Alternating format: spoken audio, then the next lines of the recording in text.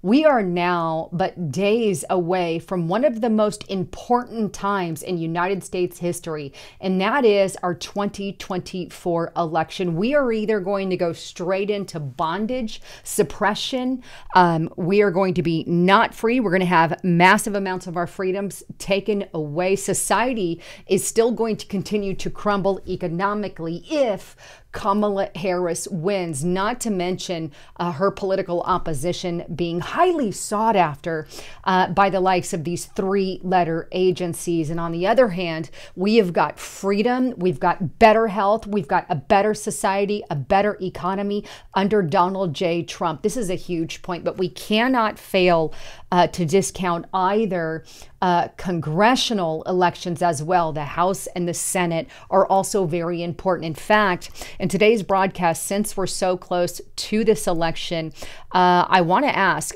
do the Democrats have a doomsday plan in place if Trump wins the, U- the U.S. election? And the truth of the matter is, they absolutely do. And you are not going to like what they fully intend to do, at least according to some of the personnel in Congress. Now, I have talked about this once before, but considering we're days away from the election, I wanted to bring it back up with a little more newer information. But let's start first with this article on Zero Hedge. Uh, and it's headlined here is this the Democrats' doomsday plan in case Donald Trump wins? Now, before they actually get in the plan, and, and again, this is something that I've talked about on my channel before, uh, it gets into some of the details of what we need count wise. Now, we all know uh, that we need 270 to win the race. That's what we're actually looking at. And as it stands right now, here's what we got for each candidate, right? The path to victory is a list of states that you can win that add up to 270 or more electoral votes. This is where the concept of battleground states come in. Harris is all but certain to win a list of states, including California, New York, and Washington. Those are Democrat. They've pretty much always voted Democrat. Kamala has that in the bank. Trump is all but certain to win another list of states, including Tennessee, Indiana, Kentucky, and Louisiana. Those, for the most part, have been more Republican in nature. Those sure thing states are followed by a list of likely states, right? Likely for Harris. These include Illinois, New Jersey, Virginia. And for Trump, they they include Texas, Florida, and Missouri. Now, once these sure thing and likely states are added up, Harris has about 215 electoral votes, and Trump has about 219. So, slightly there in, a, in advance, uh, a, a slight advantage to Trump from Harris, right? Both candidates fall short of the 270 votes needed to win. This brings us to the true battleground states or toss up states, like right here in Arizona, Georgia, Michigan, Minnesota, Nevada, North Carolina, Pennsylvania, Wisconsin, and Nebraska, which divides votes by congressional, uh, congressional districts. There are 104 electoral votes in this toss up category.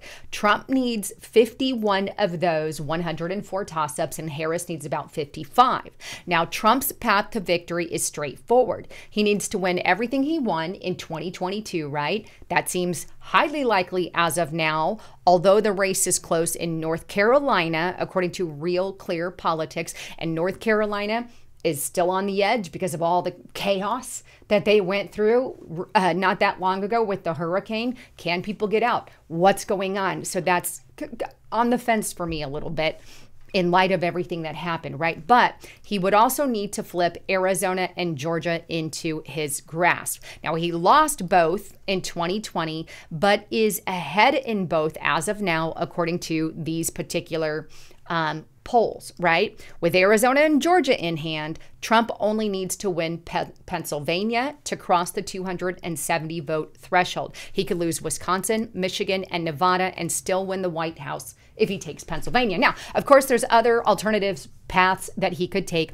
Trump could lose Pennsylvania and still win the White House if he takes Virginia and Nevada. That's a wash. Trump could lose Pennsylvania and still win if he takes Michigan and Wisconsin. So there's all kinds of loopholes and stuff that they could do. There's ways that it can play out. We just don't know exactly how it's going to play out, right? But the bottom line here is even if he wins the election, Democrats still have a massive trick up their sleeve. And I have been warning about this for the past couple of months. But in light of what's going on with the election right now and how close we are, we definitely need to be aware of this again. And it says this even if Trump can win the election with 270 or more electoral college votes, likely as of now, the fight will not be over. The Democrats have another lawfare trick up their sleeves. If Democrats retake the House of Representatives, then on January 6, 2025, the new Democrat controlled House could pass a resolution that Trump is an insurrectionist and disqualify his electoral votes under Section 3 of the 14th Amendment, right? What happens if that happens? Well, Kamala would not have the 270 electoral votes needed to win. This would throw the election of the president to the House of Representatives voting as state delegations, not as individuals. Under the 12th Amendment, 1804, only Kamala Harris could receive votes for president, assuming Trump was disqualified or no other candidate won any electors at all. J.D. Vance would suffer no insurrectionist disqualification, so the result could be Harris as president and J.D. Vance as VP. Now, another possibility is that the Republican controlled state delegations in the House could boycott the presidential vote, in which case a quorum would be lacking. In this case, the VP, J.D. Vance, shall act as president under the 12th Amendment. This is not a far fetched scenario. Democrats, led by Jamie Raskin, have already set the wheels into motion. In fact, let me um, actually play Jamie Raskin's clip for you regarding uh, igniting. Um, just that. Take a listen to this clip. What can be put into the Constitution can slip away from you very quickly. And the greatest example going on right now before our very eyes is Section 3 of the 14th Amendment, which they're just disappearing with a magic wand, as if it doesn't exist, even though it could not be clearer what it's stating. And so, you know, they want to kick it to Congress. So it's going to be up to us on January 6, 2025, to tell the rampaging Trump mobs that he's disqualified. And then we need bodyguards for everybody in civil war conditions, all because the nine justices, not all of them, but these justices who have um, not many cases to look at every year, not that much work to do, a huge staff, great protection, simply do not want to do their job and interpret what the great 14th Amendment means. And I'm glad that Sherilyn's creating her. There you go. So in other words, it's up to them if they if they win, if they take House, Senate, if they got that and they got enough votes, they're going to say we're going to vote uh, that Donald Trump is an insurrectionist, and therefore, because we call him an insur- insurrectionist, doesn't even have to be proven that he is or isn't. They're going to call him one with no regard to what the American people voted for. It's up to them, he said, up to the Democrats to say you're an insurrectionist and you're out. Now, that would completely usurp the vote of the American people if he did win. How on earth they could get away with such, with such actions are above and beyond anything that I have ever heard or seen. But they're literally saying if we win and we take that and he gets the presidency, we're going to act. You know, civil war conditions, and we're going to use uh, the amendments and, and, and, and remove him from office immediately to damned be you for voting him in. This is insane. If they're willing to uproot Joe Biden, right, and, and install Kamala Harris without a single vote, what do you think they're willing to do to Donald J. Trump if he wins the election and they take the House, right? Senate, House, and Senate. What happens then? There's a lot hinging on this United States election. But there is no recourse for them. They don't care about democracy. They're out there saying Trump's a threat to democracy when they are literally usurping democracy. And Lord only knows what the hell the United States of America is going to look like after that. This is a very important election. Meanwhile, they're the ones out there lying, say, Don, saying Donald Trump wants to ignite a coup.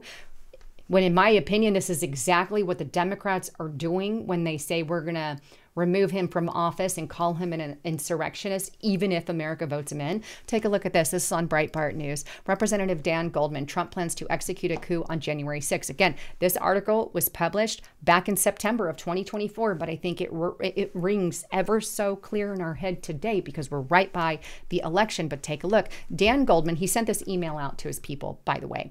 Dan Goldman here with an important update on Trump and New York. In just a few hours, Trump's going to hold a rally there. Trump knows his campaign can't win New York, but he's here. Why does he care? Because he wants Mike Johnson, the architect of the 2020 effort to overturn the election, which he didn't, to be Speaker of the House on January 6, 2025, in order to execute a coup when he loses. We can't let that happen, so please send us your money.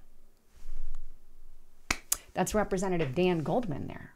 So Raskin, Goldman, and many others have threatened to do similar things.